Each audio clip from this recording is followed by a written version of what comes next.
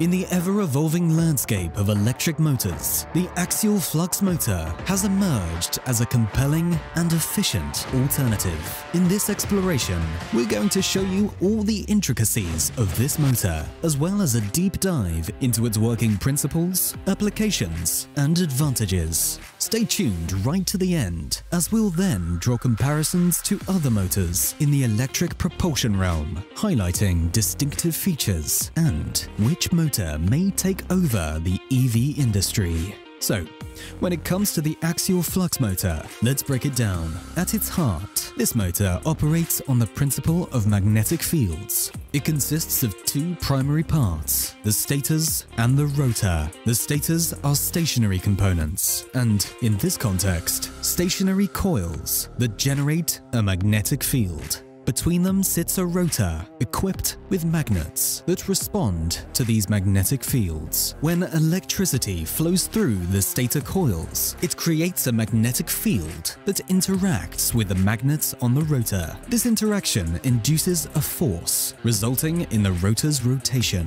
What sets the axial flux motor apart? Well, it's the design. Unlike traditional radial motors, the axial flux motor flaunts a flat, disc-shaped structure.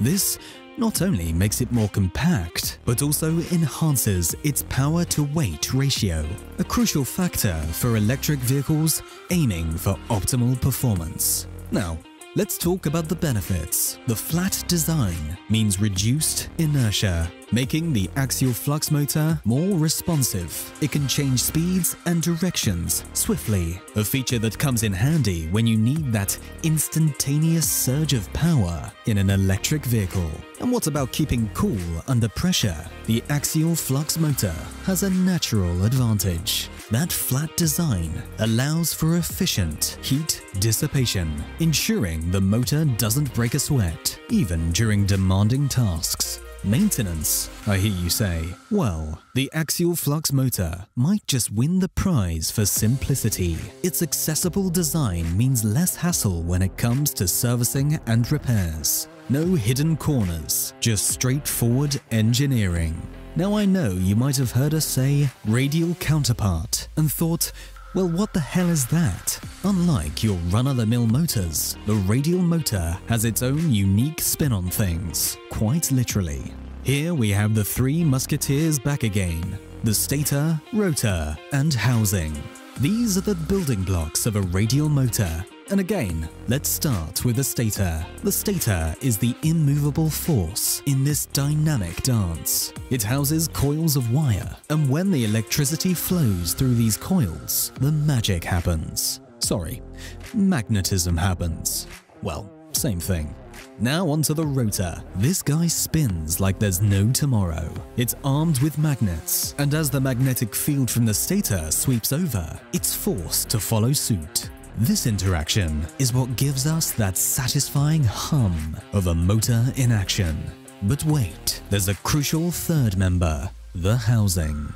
This is the unsung hero that keeps everything in check. It houses the stator and rotor, ensuring they maintain the right distance and alignment. What's truly mesmerizing is the synchronization between the stator and rotor.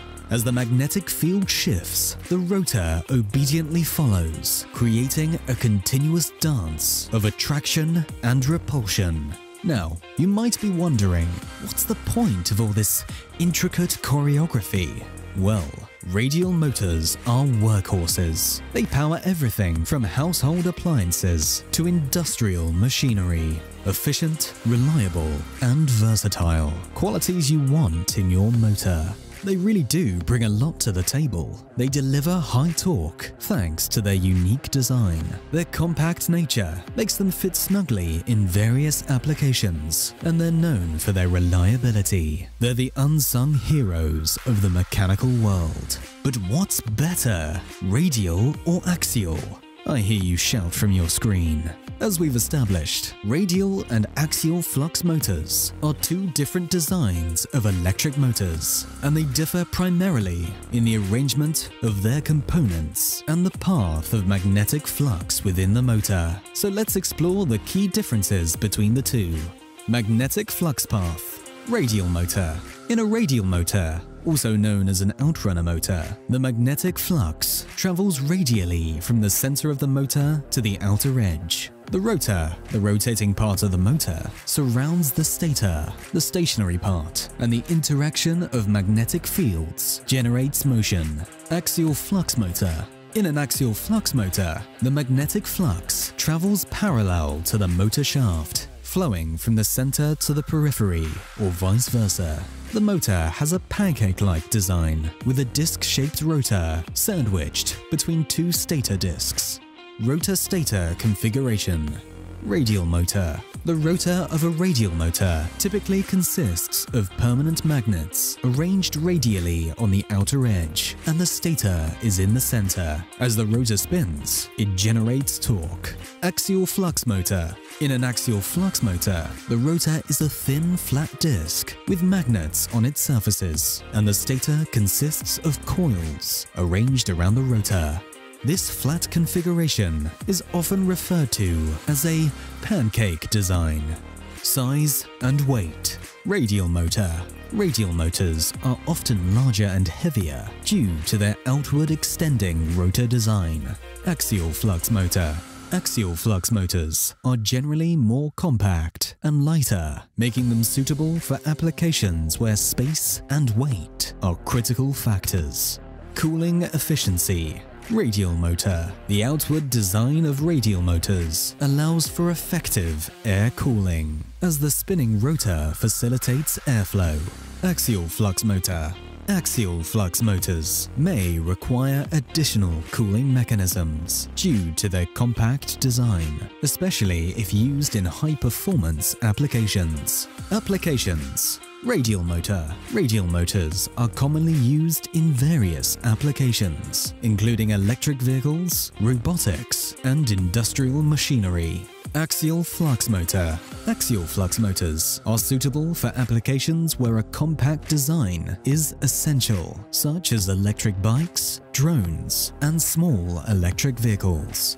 Determining which motor design, either radial or axial, is quote-unquote better really depends on the specific application, requirements, and priorities. Radial motors have a proven design, can generate very high torque at low speeds, and are simpler in their construction. However, they're quite weighty, lose their efficiency at high speeds, and may start to exhibit cogging torque, which leads to variations during rotations. This is great for more commercial use vehicles, where you may need to operate at lower speeds and have a high power-to-weight ratio, like semi-trucks. Axial flux motors are quite simply the reverse. They have lightweight designs, are fantastic at high speeds, and have much better heat dissipation. However, their design is slightly more complex, has less proven applications, and integrating certain components, such as cooling systems, can be more challenging due to the flattened designs. These motors are therefore gaining much more popularity in EVs due to their compact design and high-speed efficiency.